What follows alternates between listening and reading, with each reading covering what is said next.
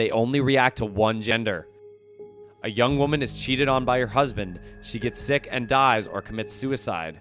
Her ghost will be haunting the place where he dies and also hates men. So if you're planning to go in search of her spirit, take a male friend in your group because her spirit likes to torment men. Abandoned buildings. An abandoned building is the creepiest place you don't want to visit. These buildings or homes are the favorite places of sorrowful spirits and they hate any disturbance from the outside world. The creepy floors, holes in the walls, and banging doors in an abandoned building will give you a horrific experience.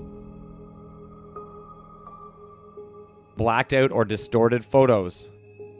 If you are at a haunted place and take some pictures of yours, sometimes you can see that they are distorted or blurred. This indicates that the place is haunted, and it may be that the ghost is marking her next prey. Moving objects. In many of the ghost legends, people see doors and cabinets slamming open and shut, furniture moving on its own, and missing objects reappearing suddenly. The more terrifying scene is tombstones or headstones moving their own in graves. Exclusive to the moon phases. In many of the ghost stories, one of the main elements is the moon. Ghosts respond to humans depending on the moon phases. It is asked not to enter a haunted house during new moons ambiguous or lost locales. One of your friends says the ghost story of a girl who jumped from a bridge.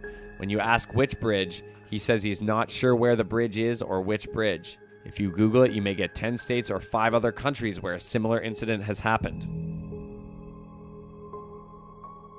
Summoning the spirits. Ghosts unwillingly make an appearance when they are relentlessly summoned. Bloody Mary is one of the ghosts which makes an appearance when called. The Midnight Man would come easily when you call, but after entering your home, he will hunt you and your friends for about three and a half hours. Unfinished business.